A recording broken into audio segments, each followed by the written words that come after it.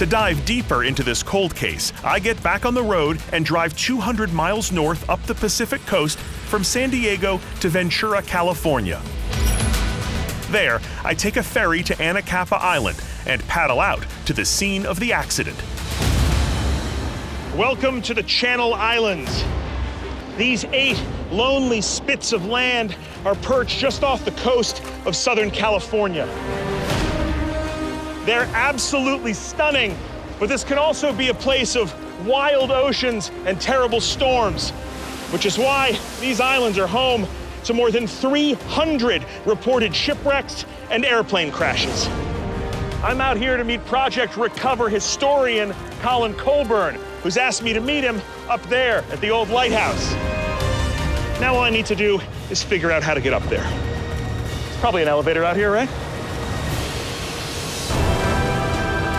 Surrounded on all sides by 200 foot cliffs, the only way on or off the island is a steep and seemingly endless staircase. You got this. You got this. Okay. Okay. Okay, where's the lighthouse? Oh, come on. Aside from tens of thousands of birds and a lonely ranger station, no permanent residents have called Anacapa home since the lighthouse was automated in 1966. Project Recover historian Colin Colbourn has asked me to meet him here to reveal new intel that could make or break our search. Hey, Josh, how's it going? Good to see you as well. You're a hard man to find. I know. I, I dragged you all the way up here to Anacapa Island because this is where the accident actually happened. Right here in this airspace. Absolutely.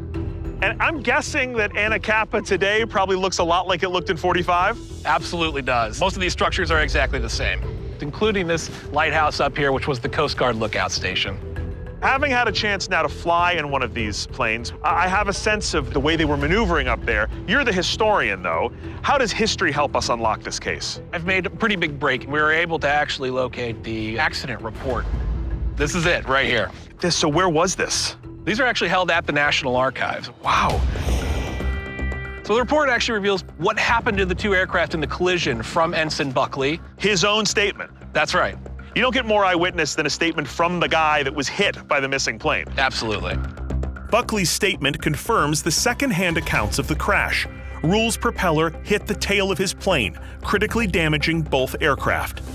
But there's an even bigger revelation in the accident report. There were eyewitnesses. Coast Guard officers on duty in the lighthouse watched as the stricken Avengers collided and went down on either side of the island. And the other incredible thing that we get from this accident report are the actual compass bearings and distances offshore where these Avengers crashed from the perspective of the Coast Guard in the lighthouse. That's huge. It's absolutely huge. Ensign Buckley's plane crashed 300 degrees from the lighthouse, about 100 yards offshore. And so where is that? So that's actually right out that way. Right that way. Yes. Okay, so Buckley's plane goes down over there. That's a known wreck somewhere out there. But when it comes to the Lost Avenger, the accident report says Ensign Rule's plane did not recover in any manner and made a glide straight into the water about 400 yards, bearing 170 degrees true from Anacapa Island Lighthouse. It's actually right out that way. That way. This is kind of a smoking gun. If this is accurate, then 400 yards out on that bearing, there should be a lost World War II plane. Right out there, 400 yards offshore.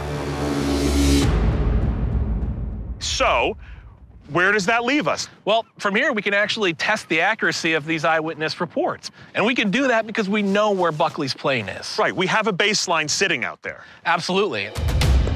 Diving the known wreck may help us solve the mystery of the Lost Avenger. Does the distance from shore and bearing off the lighthouse match the Coast Guard account? And is the damage to the tail of the plane consistent with Buckley's description of the collision?